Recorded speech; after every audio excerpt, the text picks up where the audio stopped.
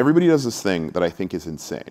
Photographers do this a lot where we mirror what we're doing and instruct people from this. Say, I need you to do this or do this, or we touch people. And it's very like aggressive and unhelpful. My first tip, this is the only thing you take from this, stand shoulder to shoulder with somebody, like both emotionally and physically, and show them what you need or explain it to them so they can see it, not look at it in a mirror.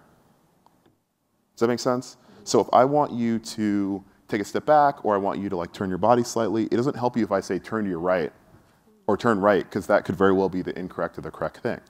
But instead, like slowing down enough to say to your subject, like, I'm not going to grab you, but I want you to turn to your left.